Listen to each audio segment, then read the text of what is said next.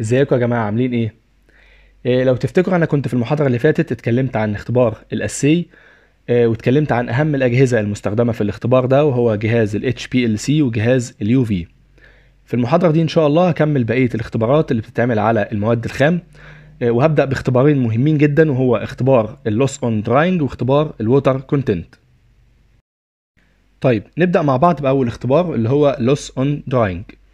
أنا كنت اتكلمت قبل كده عن الاختبار ده وقلت إن الاختبار ده آه، الهدف منه إن هو بيبين نسبة ال liquid اللي موجودة في المادة بتاعتي المادة الفعالة بتاعتي أو الغير فعالة على حسب ما أنا بشتغل. آه، هو من اسمها كده loss on drying يعني حاجة بتفقد بالتجفيف بدرجة الحرارة العالية. طيب إيه اللي ممكن يفقد بدرجة الحرارة العالية؟ نسبة السوائل. اذا ال test ده بيتعمل علشان أعرف المادة دي فقدت نسبة سوائل قد إيه لما اتحطت في درجة حرارة معينة لمدة معينة. طيب طالما في درجة حرارة إذا نستنتج إن الاختبار ده بيتعمل على لازم أستخدم حاجة اسمها oven فرن. لازم أستخدم فرن حاجة كده زي اللي أنتوا شايفينه قدامكم ده بيتظبط عند درجة حرارة معينة ووقت معين. آه، جواه بيحصل عملية آه، فقدان للسائل ده. المادة دي بتفقد السائل عند درجة الحرارة المعينة اللي ال monograph بيقول لي عليها. طيب بنعمل الاختبار ده إزاي؟ بكل بساطة أنا بجيب حاجة اسمها weighing bottle ودي حاجة بتبقى مصنوعة من الإزاز حاجة كده شبه ال beaker ال beaker بتاع المعامل العادية بس أصغر شوية. ال weighing bottle دي أنا بجيب بجيبها وهي فاضية وبوزنها باخد وزنها وهي فاضية. وبعد كده بوزن المادة بتاعتي بوزن واحد جرام من المادة بتاعتي. بعد كده باخد ال weighing bottle وهي فيها المادة دي وهي فيها الواحد جرام من المادة بتاعتي وأخدها أحطها في ال oven. وبعدين بظبط ال oven عند درجة حرارة معينة ووقت معين. طبعا ال monograph هو اللي بيقول لي على درجة الحرارة دي وهو اللي بيقول لي على الوقت ده. وبعد الوقت ده ما بيعدي بطلع ال weighing bottle واسيبها آه، تبرد. طبعا بحطها في مكان في وسط آه، المفروض إن الوسط ده ما يكونش فيه أي رطوبة خالص علشان المادة دي ما تسحبش رطوبة تاني آه، وتبقى النتائج دقيقة. فبحطها في في- مكان كده اسمه desiccator حاجة كده آه، مصنوعة من الإزاز وبيبقى فيها silica. ال silica دي وظيفتها إن هي بتسحب أي رطوبة موجودة في الميديا في, في الوسط اللي موجود جوه بحيث إن ما يحصلش interference ما بين الرطوبة اللي موجودة في الميديا في, في الوسط ده وما بين المادة بتاعتي.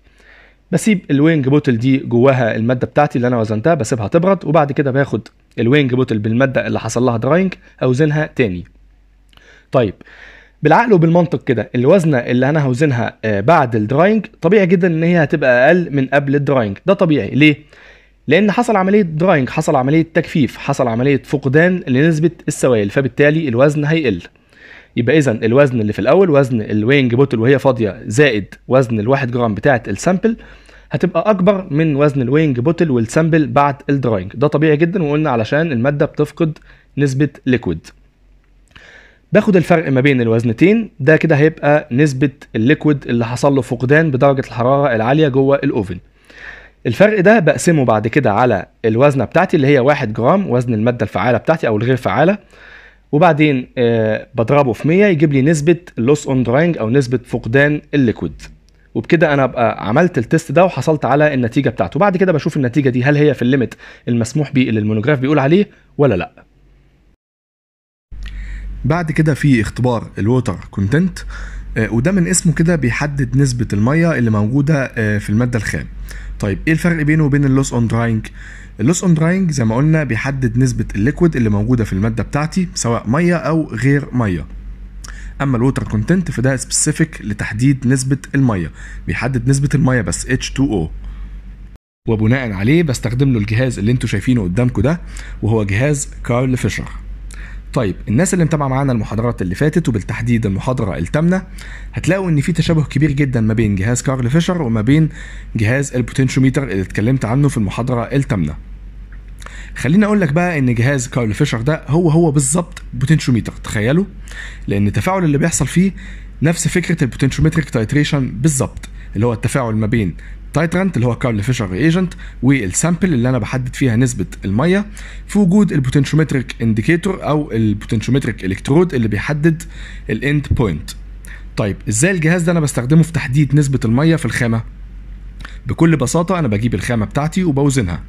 بعد كده باخ- باخد الخامة وأحطها في الجهاز وبعد كده يبدأ ال titration يشتغل ما بين كارل فيشر reagent وما بين ال sample وبالمناسبة كارل فيشر reagent ده بيتكون من كذا مادة كيميائية أهمها عنصر ال iodine الجزء ال reactive اللي موجود في ال titrant ال iodine بينزل يتفاعل مع نسبة المية اللي موجودة في الخامة بتاعتي لغاية ما يستهلك المية كلها وبالتالي إيه، تبقى هي دي كده ال end point اللي بيحددها ال potentiometric electrode طبعا أنا ببقى مدخل له وزنة ال sample في الأول ال- بدخل ال software وزنة ال sample وفي الآخر خالص ال indicator أو الالكترود ده بيحدد ال end point يبقى أنا كده عندي أو ال software خد الوزنة بتاعة ال sample ويحدد في الآخر ال end point بتاعه ال- نتيجة ال titration بمعادلة معينة آه، بيحدد نسبة المية اللي موجودة في الخامة.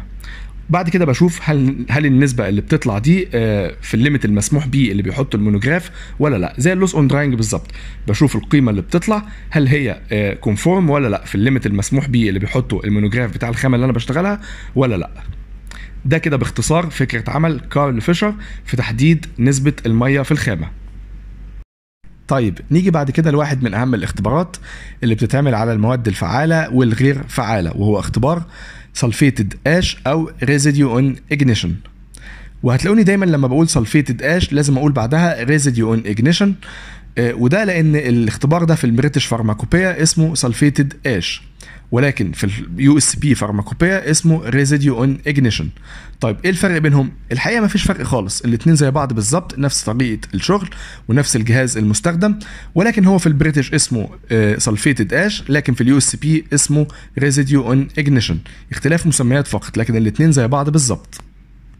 طيب إيه حكاية الاختبارين دول؟ وإيه هو الجهاز المستخدم علشان أعمل بيه الاختبار ده؟ آه، الموضوع كله إن أنا لو عندي آه، مادة فعالة أو غير فعالة آه، مادة organic بتتكون من كربون وهيدروجين المفروض إن المادة دي لما بتتحط عند درجة حرارة معينة آه، فوق ال 600 المفروض إن هي بتتحرق آه، احتراق كامل وتختفي. الكربون والهيدروجين يتحرقوا ويختفوا تماما. آه، المفروض ده يحصل في أي مادة organic.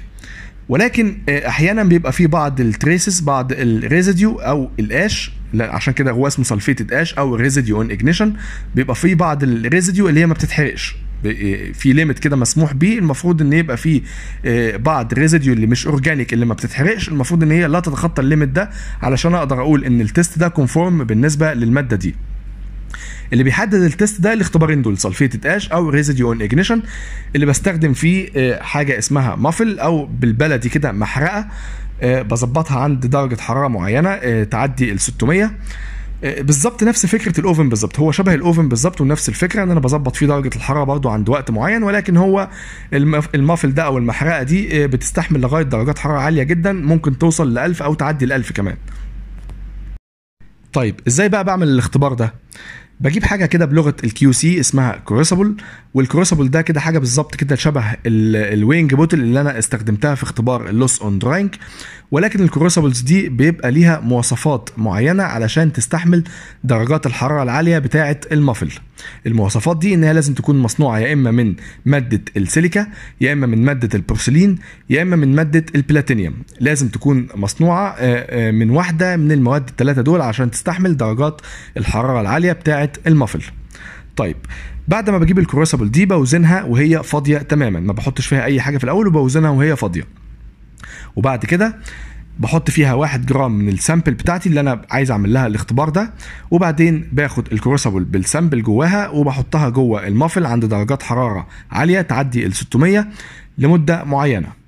بعد المدة دي ما بتعدي وليكن مثلا ساعتين آه، بطلع ال crucible وأحطها برضو في ال desiccator اللي أنا حطيت فيه الحاجة اللي خرجت من ال oven وأنا بعمل ال loss on drying نفس فكرة ال- ال desiccator بتاع ال loss on drying بالظبط. وبعد ما ال crucible دي بتبرد باخدها وبوزنها طبعا إحنا علشان عارفين فكرة عمل ال muffle إن هو بيحرق الحاجة ال organic لما أجي أطلع ال crucible آه بعد الوقت المعين ده هلاقي إن المادة اللي أنا حطيتها في الأول الواحد جرام من المادة اللي أنا حطيتها من الأو... في الأول هلاقي. حصل لها احتراق كامل هلاقيها اختفت خالص من ال crucible وبالتالي آه، أنا لما هاجي أوزن ال crucible بعد الحرق هتبقى تقريبا فاضية. ولكن هي هي مش هتبقى فاضية بنسبة 100% هي هيبقى فيها traces صغيرة أو residue نسبة صغيرة جدا ممكن ما أبقاش شايفها. هي دي اللي بتمثل نسبة ال residue on ignition أو ال sulfated ash اللي أنا عايز أحددها. آه، بعد ما بوزن ال crucible هلاقي إن بالعقل وبالمنطق كده وزنة ال crucible بعد الحرق هتبقى أكبر من وزنة ال crucible وهي فاضية اللي أنا وزنتها في الأول أو هتساويها. لو هي آه، ساوتها بالظبط يعني وزنة ال crucible بعد الحرق ساوت بتساوي آه، وزن ال crucible وهو فاضي ده معناه إن المادة دي احترقت احتراق كامل مفيش residue خالص هتبقى نسبة ال residue صفر وبالتالي هتكون النتيجة صفر وهتبقى كده النتيجة conform طيب لو في نسبة residue طبيعي جدا إن إن الوزنه بعد هتبقى أعلى من وزنة ال crucible اللي في الأول اللي أنا وزنتها وهو فاضي لأن الوزنه بعد هتبقى عبارة عن ال crucible وهو فاضي زائد ال residue فبالتالي هتبقى أعلى من الوزنة بتاعة ال crucible وهو فاضي. الفرق بينهم هيديني وزن ال residue اللي أنا عايز أحدد نسبته. هاخد وزن ال residue ده وأقسمه على آه، وزنة الخامة اللي أنا وزنتها في الأول اللي هي الواحد جرام وبالتالي هقدر أحصل على النسبة المئوية بتاعة ال sulfated ash أو residue on ignition هشوفها بعد كده هل هي في ال limit المسموح بيه اللي بتح... اللي بيحطه ال monograph بتاع ال pharmacopoeia ولا لأ. ودي كده فكرة عمل اختبار ال sulfated ash أو residue on ignition طيب هنكتفي لحد كده النهارده في المحاضرة دي آه، وإن شاء الله في المحاضرة اللي جاية هنكمل بقية أهم التستات اللي بتتعمل على المواد الفعالة والغير فعالة.